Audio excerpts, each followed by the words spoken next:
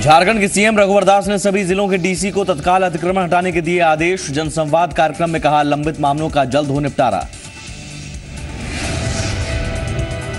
पटना में सीएम नीतीश के जनता दरबार में हंगामा। सरकारी योजना के तहत ज़मीन नहीं मिलने से नाराज़ थी महिला। पांचवी बार सीएम पद संभालने के बाद पहली बार लगा नीतीश का जनता दरबार। मनोनीत 12 एमएलसी को पटना हाईकोर्ट का नोटिस। मनोनयन पर उठाए सवाल। कोर्ट ने पूछा, क्यों नहीं खत्म कर दी जाए सदस्यता? जवाब देने के लिए 8 मार्च तक का वक्त।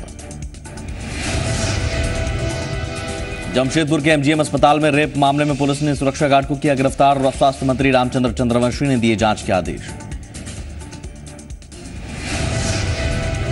सीतामढ़ी में छात्रा की हत्या के बाद भड़का लोगों का गुस्सा, आरोपी की लोगों ने की पिटाई, अस्पताल में हुई मौत। जमशेदपुर में कानूनी प्रक्रिया के तहत रागनी के हुए क्रिकेटर वरुण एरॉन चार फरवरी को रीति रिवाजों के तहत होगी चर्च में शादी।